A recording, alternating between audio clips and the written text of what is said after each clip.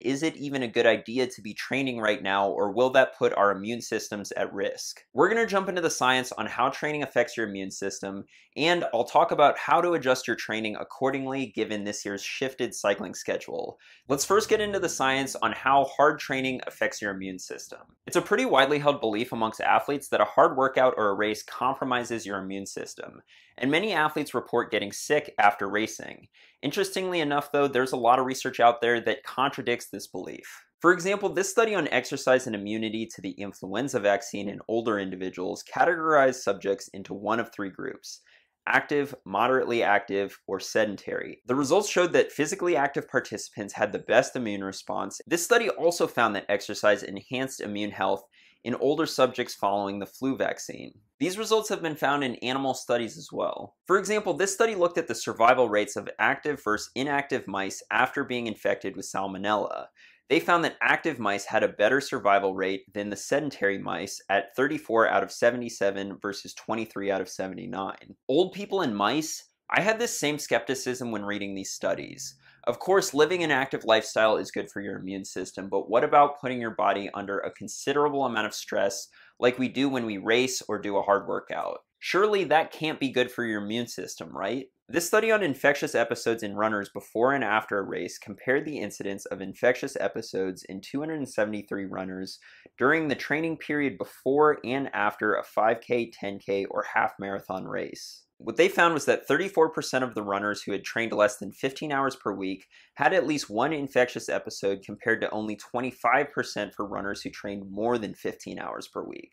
Basically, those who trained more got sick less. On top of this, during the week following the road race, runners did not report an increase in infectious episodes as compared to the week prior to the race. They concluded that runners with a more serious commitment to regular exercise may experience less infectious episodes than recreational runners because of both direct and indirect effects. It's not just one study coming to this conclusion. This study reported better immune function in marathon runners over sedentary controls. And both these studies on large groups of ultramarathon runners reported that these athletes report fewer missed days of work or school due to injury or illness if any athletes are severely stressing their body through exercise, it's ultramarathon runners. In this 2018 review on debunking the myth of exercise-induced immune suppression, they deconstructed the open window hypothesis that states that a short window of time after exercise, your immune system is compromised. As it turns out, limited reliable evidence exists to support the claim that vigorous exercise heightens risk of opportunistic infections,